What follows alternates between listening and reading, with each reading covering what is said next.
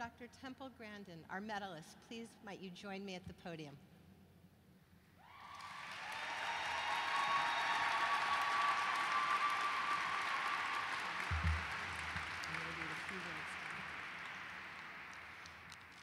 Dr. Temple Grandin, you argue that if autism were removed from the human gene pool, that we would be left standing in caves, chatting and socializing, but getting nothing done.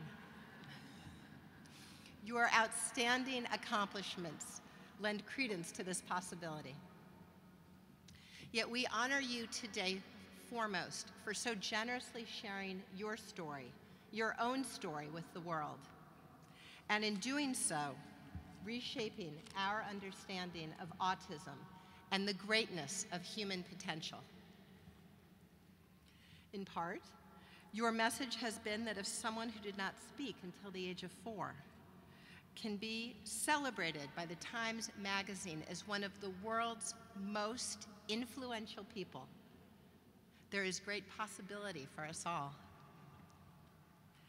you have underscored the rich variety of human intellect, reminding us that different is not less, and so very often turns out to be more. Your hallmark has been your remarkable ability to imagine others' viewpoints, to identify strengths that society has overlooked, marginalized, or identified wrongly as deficits. You eloquently describe the difficulties that abstract concepts in algebra pose for some children, particularly those whose thinking is photorealistic visual, that great asset that enabled you to design a humane livestock restraint system that revolutionized the meat industry. As reflected in the wonderfully titled HBO movie, Temple Grandin, you hit upon your vision of cattle chutes that reduce stress by literally putting yourself in the animal's place to tap their natural behavioral instinct. Dr. Grandin, for you is named a school for students with autism. You inspire thousands of children and their families. Now, as our American education system serves an ever more diverse range of learners, your insights stand to benefit an even farther and broader audience. For your fearless and energetic campaign to recognize and realize the inherent gifts and great worth of all human beings, we proudly present you with Teachers College's Award for Distinguished Service.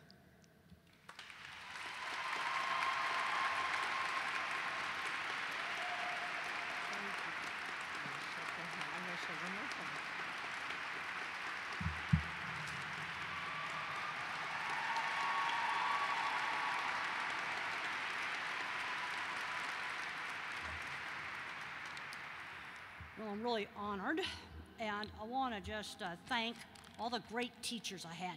I had a great speech teacher, my mother was a great uh, teacher, and I had a wonderful science teacher. You know, kids that get labeled with the milder forms of autism have uneven skills. Some are visual thinkers, like me, couldn't do algebra. What saved me back in the 60s was finite math. That was the educational fad of the time.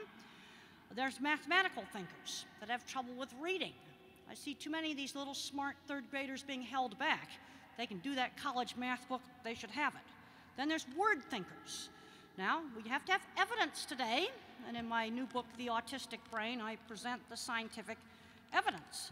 There's been a lot of discussion about Common Core. I think you need to look at that as a destination, not tell good teachers how to get to that destination.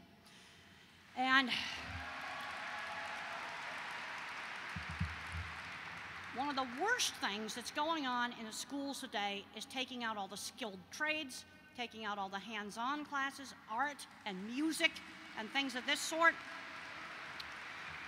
Uh, in the hotel last night, I read the student's speech. But two words kept coming up pioneer and passion. How do students find their passions? I got interested in cattle because I was exposed to them in high school.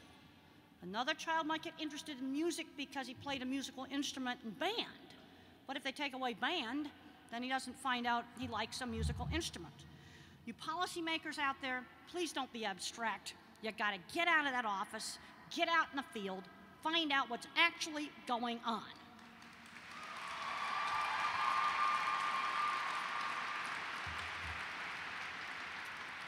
I'm seeing too many policymakers today that go, you know, kind of college, go right into a job inside Washington, D.C. They've never done a real job like teaching. The other thing I've learned from working in the construction industry is, you know, you got to design a project, you got to build it, you got to get it done, you got to make it work. It's kind of a project mentality. Also, I am a bottom up thinker. My concepts are formed with specific examples. So, you want to reform schools? Let's do it one school at a time and then tell people how you did it. Another thing that I have found I, when I was young, when I was your age, I thought I could fix everything with the right equipment.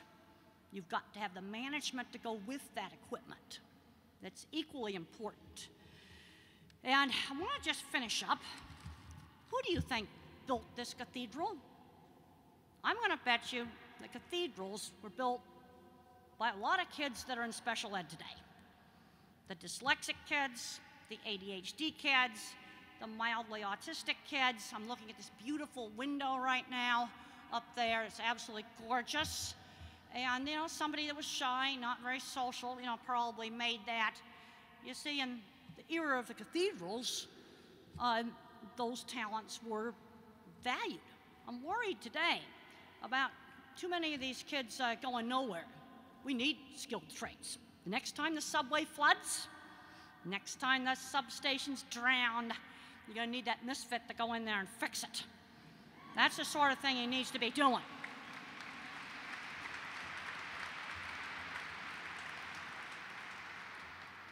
So I want you to think about that. You know, look at these windows and think about who made them. Uh, a lot of special ed kids working on that stuff. And today, too many of them are getting addicted to video games, and we just can't let them do that. Nope, we got to get out there, and you got to get them out there doing real stuff. Okay, thank you.